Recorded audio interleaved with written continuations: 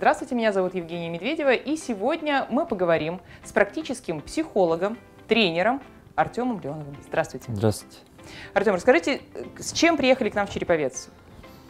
Я приехал сюда не первый раз, и, как обычно, с семинаром на тему взаимоотношений, тема взаимоотношений в семье и вообще в целом с самим собой также, потому что отношения с другими людьми зависят от того, как человек может общаться со своим внутренним миром.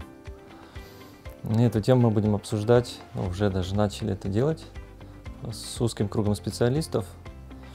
Ну и дальше я поеду в следующие города, тоже мы будем обсуждать эти темы и какие-то еще важные темы. Как найти общий язык с самим собой?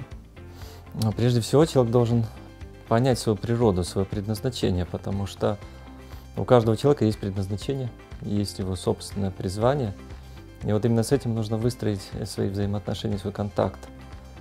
Иногда нас сбивают с толку, допустим, в школе нам говорили, кем ты хочешь стать, или на кого хочешь быть похож, может быть, ты хочешь быть вот как ты этот герой, или это тот герой.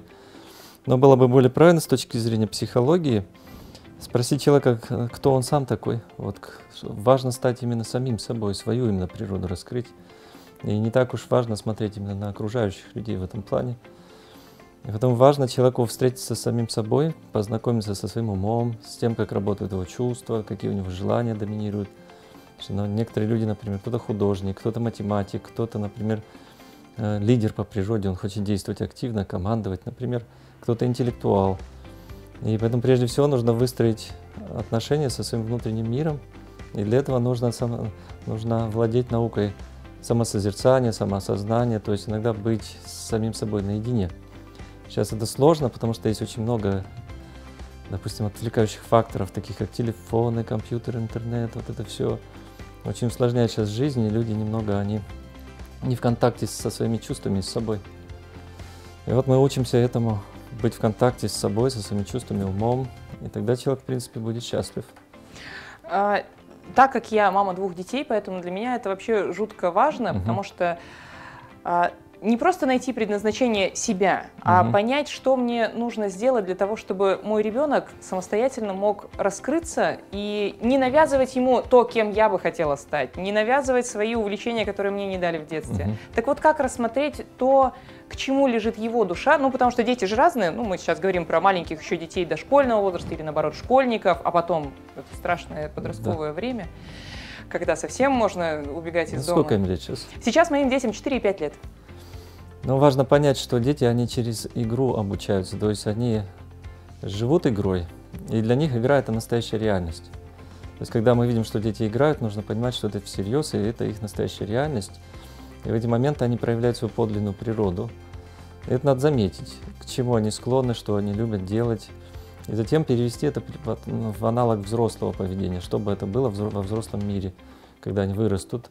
Ну, понятно, если любит рисовать, возможно, будет художником, хотя, в принципе, все дети любят сначала рисовать. Поэтому они перебирают определенные, определенные игры, и видно, вот, если человек лидер, например, или склонен больше читать, или склонен да, управлять. И эти вещи нужно потом заметить в нем проявить. Например, у меня младший брат, он с детства проявлял интерес к музыке, к инструментам, вот, к тому, чтобы барабанить вот, на разных предметах. И, в принципе, это стало его профессией, и даже смыслом жизни. Он счастлив, он стал знаменитым музыкантом и барабанщиком. Хотя мы могли бы его направить в какое-то другое русло, сказать, ну вот изучай математику, какие-то общие дисциплины. И вот давая детям общие дисциплины, мы должны все равно упор делать на его природу и раскрыть ее. И для родителей важно в этом плане то, что они должны но не становится препятствием этом во всем. Как бывает, ты должен играть на пианино, там, например, и все, или ты должен стать футболистом знаменитым. Этого не нужно делать. Нужно постараться понять, что же он хочет, и потом просто направить его туда. И важны оценки правильные, то есть мы должны всегда его поощрять. Если он делает в верном направлении шаги, мы должны подкреплять это позитивными утверждениями. Меньше а, негативных оценок, допустим, ты вот неудачник, у тебя не получается, как, как например, Допустим, отец Фаины Раневской сказал ей как-то вот такую фразу, что какая из тебя актриса, посмотри на себя в зеркало.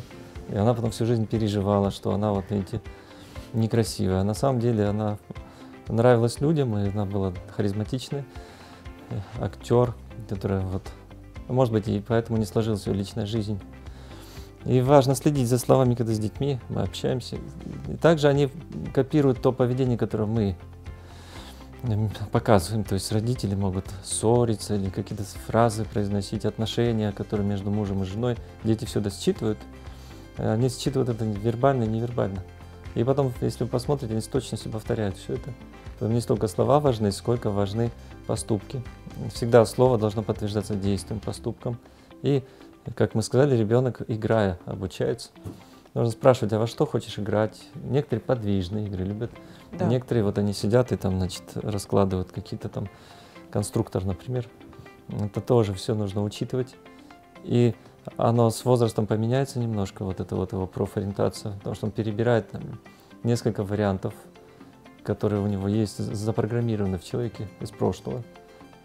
И в будущем это раскроется, какая-то одна из этих его профессиональных особенностей раскроется, и он будет успешен, если только не будет препятствия. Потому что кто-то может сказать ему, ну, сбить его с пути, из-за зависти, например, сказать, вот, ты должен быть кем-то другим, например, сейчас принято всем быть богатыми людьми, а на самом деле не всем нужно быть богатыми, потому что это еще не критерий счастья. А человек может сбиться с толку и пойти туда, вот, например, банковское дело, а он, например, ну, художник или еще что-то такое. И всю жизнь э, жертва системы, так и не раскрыл свои способности. Как, например, иногда, ну, все лидеры настоящие, они всегда не боялись быть сами собой. Например, Луи де Финес, французский актер, он пианист, но при этом в какой-то момент времени у него проявлялась эта его шутливая природа, и он корчил рожицы, и людям это нравилось, и в конце концов он гениальный комик получился, но довольно поздно. Если бы раньше этот потенциал его был раскрыт, то мы бы видели больше его фильмов с его участием, талантом. Всегда важно ребенку подчеркнуть его индивидуальность, и чтобы он старался не зависеть от оценок просто окружающих, даже от того, что говорят родители, если это что-то негативное. Всегда подчеркиваем лучшее, и когда он опирается на лучшее, потом какие-то недостатки уже скорректируются, то есть упор на сильную сторону человека. Если перейти от детей к взрослым, угу. которые уже выросли, угу. у них наверняка было очень много препятствий угу. в большинстве своем. Так или иначе, человек сталкивается с трудностями, и совершенно верно, мы сталкиваемся с тем, что мы живем в социуме, поэтому в любом случае хочется, хочется смотреть по сторонам и как минимум не хуже, чем у соседа. Угу. Как найти себя?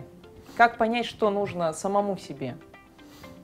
Да, для этого человек должен Э, избавиться от этого настроения, сравнивать других с собой. И на, на самом деле это называется зависть. Она бывает не такая уж ярко выраженная, как люди думают, что зависть это какое-то крайнее чувство. Зависть это вот как раз склонность сравнивать и критиковать. Он должен полюбить свою природу, самого себя, то есть понять, что он сам по себе тоже очень хорош. Ему не нужно специально на кого-то смотреть. Хотя, с другой стороны, мир это зеркало. Вот как он отражает нашу природу, социальное зеркало. То есть, если мы встречаем старшего человека, то он отражает определенный уровень моего сознания. Как правило, встреча со старшим – это призыв к тому, чтобы я стал учеником. То есть у него я могу многому научиться. Если я встречаю равного, то это зеркало отношений, которое нам помогает, например, понять общие какие-то, мы как коллеги, ты, вот у тебя это получается, а у меня вот это не получается, а как ты с этим боролся, как ты этого достиг, равная дружба – и когда мы встречаем младших, требуется помощь. Мы должны создать для них возможности для их успеха. И если у нас есть вот три уровня вот этих отношений, то наша природа, она максимально задействована, раскрыта, хорошо. Если же мы вот плохо относимся к людям или люди завидуют нам, но даже когда нам завидуют, мы можем из этого сделать другой позитивный вывод. Допустим, если человек завистник и говорит, у тебя нет таланта, мы должны сделать вывод, значит все хорошо, значит талант есть, иначе бы меня не критиковали, оппозиции бы не было. И только абсолютные доброжелатели, как правило, это родители, либо какие-то очень духовные люди, они не завидуют и вам точно говорят вашу природу, как есть, так и говорят. Хотя вот мы сказали, даже мать иногда или отец могут наоборот вот тоже позавидовать даже своим детям или через них захотеть реализовать какие-то свои желания сбить его с пути. Поэтому социальное зеркало нужно правильно понимать. Например, как вот если лев, например, его воспитывают, например, эти овцы, то он будет чувствовать себя овцой. Но если он встретит другого льва, он поймет свою природу. Или Маугли, который вот вроде бы родился человеком, но жил в джунглях и вел себя как волк, волчонок, обезьянка, пока не встретил людей, и его природа проявилась. То есть, чтобы природа-то проявилась, все-таки мы не можем быть как Робинзон, нам нужно общение, но мы не должны зависеть от этих, э, от критики, и вот эта оценочная независимость тоже необходима. Мы должны что-то принимать для того, чтобы развиваться, но это не должно парализовать, что вот ты значит, ни на что не годишься, и все, теперь я верю в это, что я ни на что не гожусь. Вот это нехорошо. Поэтому в атмосфере вдохновения нужно искать такого общества. А критике нужно быть готовым, сильным человеком, чтобы принимать критику правильным образом, чтобы она меня не парализовала. Для этого должен хорошо быть знаком с собой, я должен знать свои слабые и сильные стороны. Если я знаю только сильные стороны, то я буду очень удивлен, что кому-то не понравилось. Я же думаю, что подарок для всех. Пришел, и все должны радоваться. И вдруг кто-то нашелся такой, который говорит, а ты мне не нравишься. И мы все думаем, о боже, я не такой совершенный. Надо знать свою слабую и сильную сторону. И тогда в этом случае, если даже меня критикуют, я, я не удивлюсь. Я скажу, да я вам мог бы еще больше рассказать о себе. Вы просто не все знаете еще. Это еще даже комплимент. Понимаете, вот это вот адекватная самооценка, она очень важна. Когда даже какое-то любимое дело, даже то, что тебе нравится, чем нравится заниматься, угу но, к сожалению, не все линейно и не все вот всегда идет на улучшение. Бывают какие-то спады, бывает mm-hmm. что-то не получается.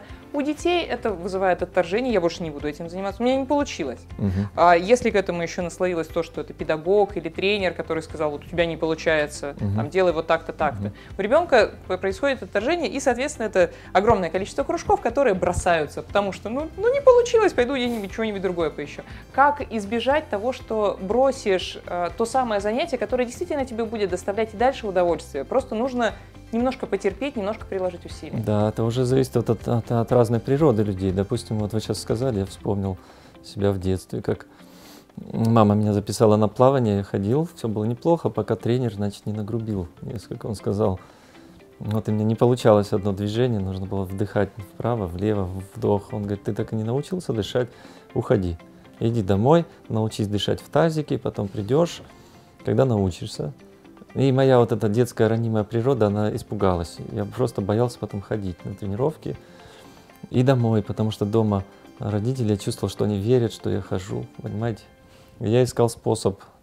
Я все это время просто находился на улице, мочил свои плавки, приходил, чтобы был типа на тренировке. В конце концов, это все вскрылось, это все гложило меня.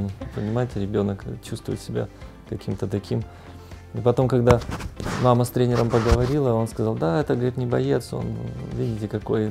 И в конце концов я перестал туда ходить. Ну, что интересно, тем не менее, меня, вот он сказал, не боец, а меня вот интересовали боевые искусства как таковые. Вот просто это был, был мой выбор. Плавание это был ну, очень нужное дело было, но это был выбор не совсем мой. И когда я уже выбрал именно свое направление, свое дело, я был там очень упрямый, и ничто не могло меня остановить, если я хотел идти вот к этой цели. И это, поэтому зависит от природы. Если, допустим, природа у человека такая воина, то для него слова решимость, действуй, преодолевай, это хорошо, особенно для мальчика. А если он интеллектуал, то ему нужно как-то мягче это все объяснить сначала, разъяснить, а потом говорить, понял, вот поэтому действуй. Если это такой человек слабый, сентиментальный, то его нужно защищать. Ему нужно давать ощущение защиты и больше хвалить, вдохновлять, что на самом деле у тебя получится. На самом деле не то, что получится. Смотри, у тебя же практически получилось. Ну тут чуть-чуть там, ты что, из этого что ли расстроился? На самом деле ты все сделал правильно. Там только вот немножко и все осталось. А не акцентировать внимание на самой ошибке. Есть люди, которые не переносят этого. А если он по природе воин, он, его этого не остановит. Его хоть, это, если вы его критикуете, он становится еще сильнее, еще упрямее, начинает вот так вот действовать. Это надо учесть, вот, учесть несколько природ. Интеллектуал, воин, предприимчивый человек и простой, любящий действовать просто вот руками что-то делать и чувствительный. Такие люди еще чувствительные, те, кто вот простоватые, они чувствительные, любят больше с конструктором, не с людьми, а вот зато хорошо рисуют, хорошо мастерят. Четыре типа людей и детей. Спасибо вам большое за то, что уделили нам время. Вам э, успешно с концертами проехать по городам и весям. Спасибо. И, конечно же, хотелось бы пожелать всем, кто нас смотрит, это найти себя, найти свои сильные, слабые стороны и все-таки найти гармонию внутри себя. Хорошее пожелание, да. Спасибо вам. Спасибо.